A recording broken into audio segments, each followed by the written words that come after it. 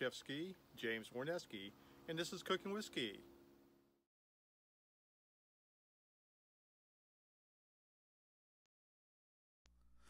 This is the uh, flank steak that I chose to pick out of the uh, grocery store. There was not a whole lot of uh, choices that we had.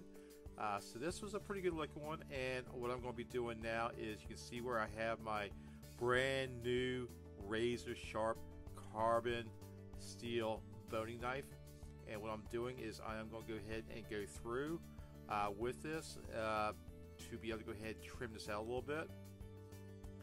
Now with uh, boning knives uh, what you'll see is that you're going to use the tip of your boning knife uh, more than you're going to do everything else. And you very simply just go ahead and use the tip uh, get up underneath the silver skin or the fat. We're just going to trim this down just a little bit you can see where I'm taking off a lot of this fat in. we don't need to have this. Uh, so we're just going to clean it up a little bit. And I'm using very little pressure just going through this to go ahead and clean it up just a little bit.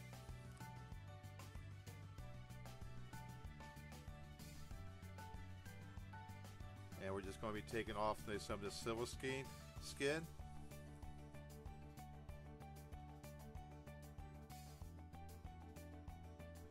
To bring your blade down a little bit, point the tip up, uh, and just go ahead and remove uh, whatever silver skin or fat.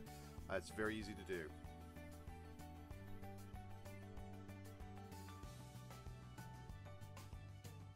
And just going to go ahead and turn this around.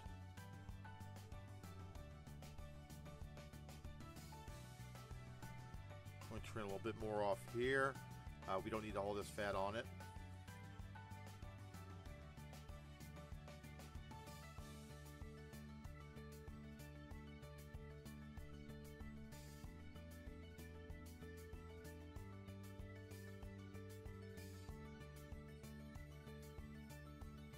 I said, no, point the blade away, tilt it up, get underneath that skin, uh, and just go ahead and cut it right on out. Turn the blade around and go ahead and just go ahead and clean that silver skin right on up. And as you can see, I am using the tip of my blade to go ahead and clean that out.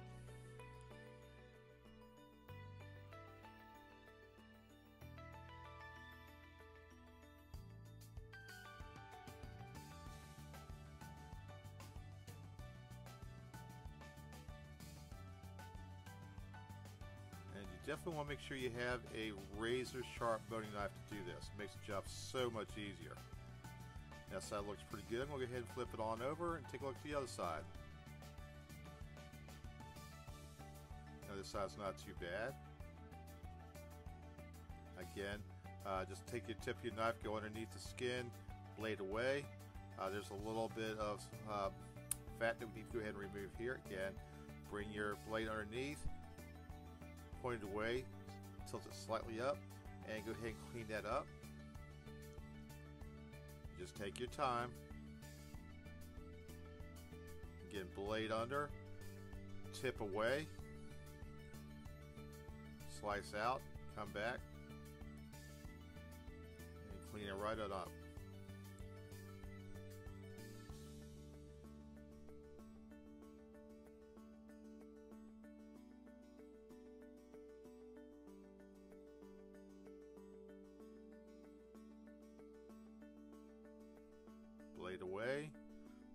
Underneath, slice it on out, and turn around, bring the blade back, and cut it right on out.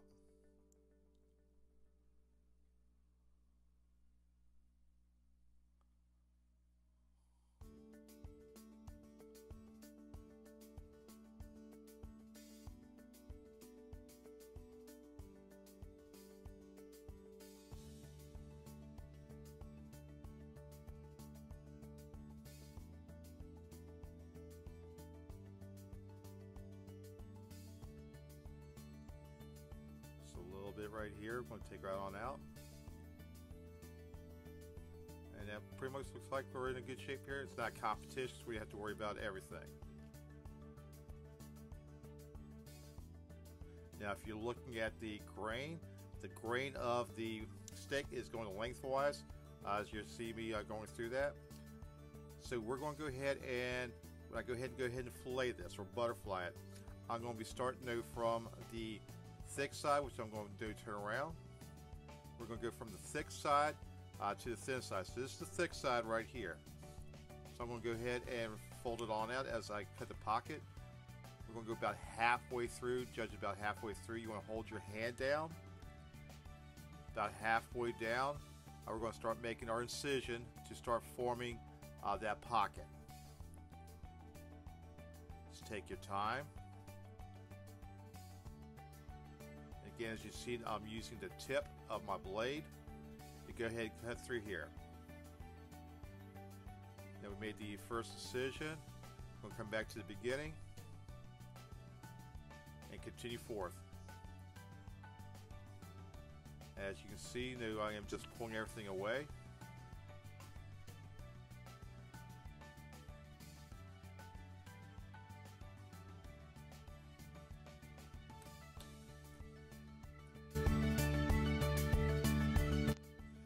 Can see, I am just using the tip of my blade, taking short slices uh, to go ahead and finish up on the butterfly of the steak. I'll continue to do so until we have it pretty much all the way flattened back out again. Just a little bit more. Again, short slices. Now that I have butterfly the steak, what I have now getting ready to do is going to go ahead and pound the steak. So I have it uh, in between two uh, sheets of um, cellophane to keep the steak from um, keep everything pulled together. Now this is my meat mallet. I'm going to use the thin side of it and we're going to start pounding and pushing and pulling uh, the steak. This is going to allow it to be able to go ahead and uh, tenderize it right on out.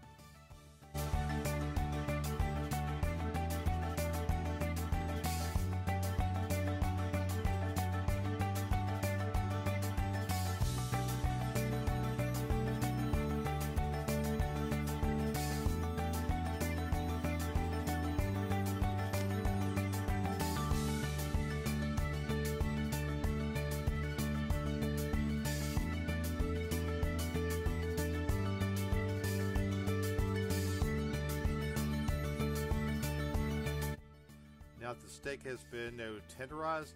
Uh, we do see we have it now lengthwise. It's been uh, flattened out so it'll cook evenly. Uh, the lengthwise uh, is that right now we have it tenderized. Next step is going to go ahead and start to stuff it. Now this is a Mediterranean style uh, stuffing with crab. So we're going to be starting with softened cream cheese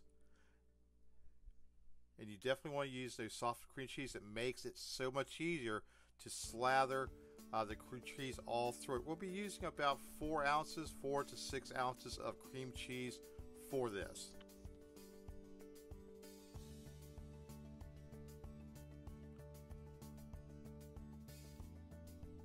Just go ahead and slather it on through. Uh, get nice even coverage to this.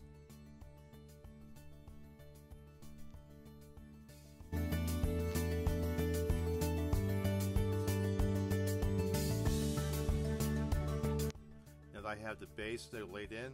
Uh, for it, we're adding in tarragon. Tarragon is a very nice herb uh, that works very well with seafood, crab in particular. We're just going to spread it all through. And I'll be coming in after that. We're adding more herbs into it. I'm going to be adding in basil, uh, dried thyme, parsley. Uh, we're going to have a lot of flavor here. Filling in with some salt, some pepper, and some garlic.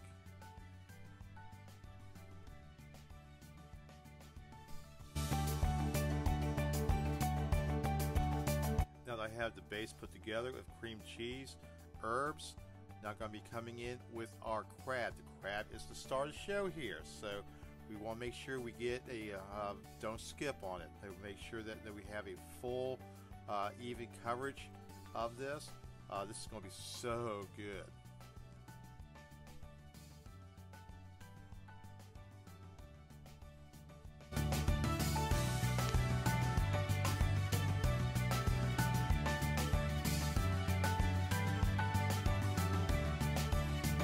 Now that we have a nice full coverage of the crab, just tap it down a little bit uh, to uh, make sure everything kind of holds tight Next step we're going to be doing is going to using the cellophane. Now you can see why I have kept that there.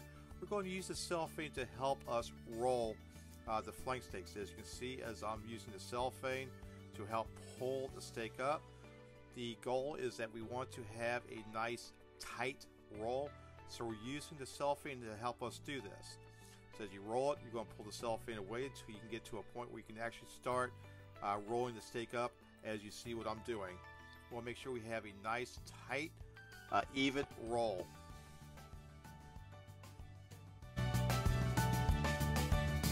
Now that we have it rolled, we're going ahead and season the outside of the steak. I'm using my go-to seasoning, very simple, salt, pepper, and garlic. We don't need a whole lot, but we want to make sure that we cover the entire steak, all sides.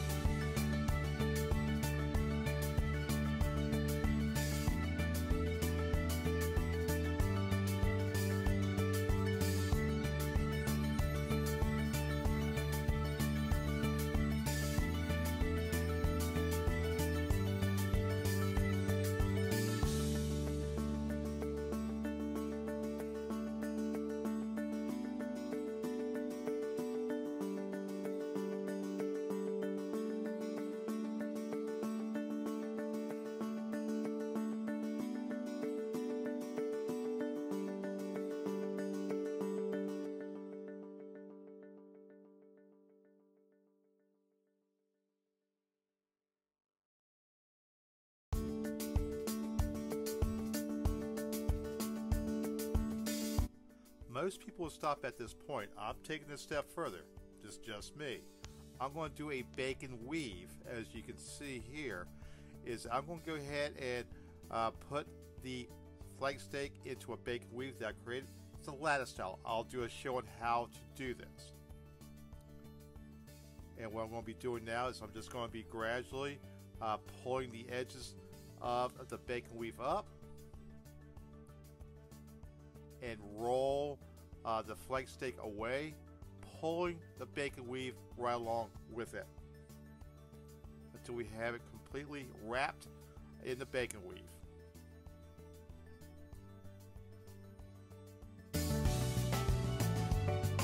Now that we have the steak uh, rolled, stuffed, and uh, encased in the bacon, now it's going to go to the grill. So I have preheated my grill. I have it on uh, in direct heat, I have my baskets on two sides. We're putting the uh, steak right in the center. Right now it's about halfway through. As you can see, now we're starting to get some color on it. And I'm going to go ahead and rotate it over uh, so that it go ahead and cook evenly on the other side. This is now been cooking for about 30-35 minutes. I have rotated over and what I'm going to be looking for is I'm looking for you know, 145 degrees uh, internal temperature or medium rare, which I now have. I'll go ahead and pull it off the grill, let it sit for 10 minutes so it can rest before I start slicing it.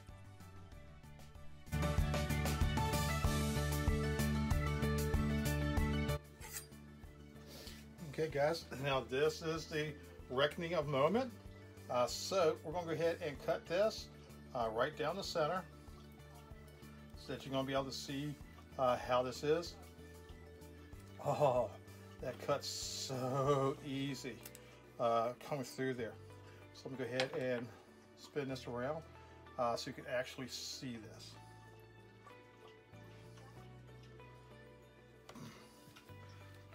Oh, that looks so good. Uh, so I'm actually going to be making this into pinwheels. So I'm going to go ahead and move this off to the side around. I'm gonna make some pinwheels out of this.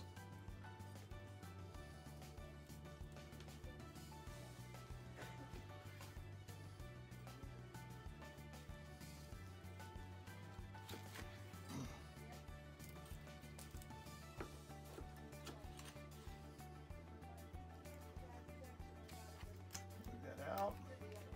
Oh, I got a snack on this. Oh, it is so good, guys. Oh, yes.